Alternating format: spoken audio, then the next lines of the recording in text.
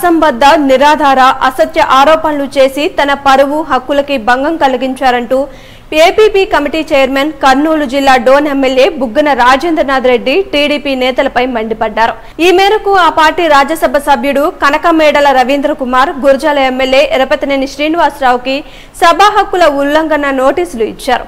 మంగళవారం Andhra Pradesh assembly speaker Kodela శివప్రసాద్కు email ద్వారా నోటీసులు పంపారు. ఏం వాళ్ళు చేసే ఆరోపణ? ఇది రాష్ట్ర ద్రోహం అంట అంటే మీరు మీరు దోపిడీ చేసి మీరు అన్ని రకాల అవినీతికి పాల్పడితే దాన్ని ఒకవేళ నోరు మెదపకుండా ఊరిక ఉంటే లేదా మిమ్మల్ని సమర్థిస్తే అది రాష్ట్ర భక్తే. మీరు చేసిన కార్యక్రమాలన్నీ కూడా ఎవరికి తెలియకుండా ఇది ఇక్కడ ఒక శాసనసభ్యులతో పని లేదు. ఈవెన్ ఒక సామాన్య మామూలు ఒక ఆంధ్రప్రదేశ్ రాష్ట్ర పౌరుని కూడా వాస్తవానికి అవినీతి అరికట్టేదానికి దోపిడీని మానిపించేదానికి చేయవలసిన కర్తవ్యం ఉంది. ఏం బేసిస్ మీద మాట్లాడుతూ ఉన్నారు మీరు ఇవన్నీ కూడా?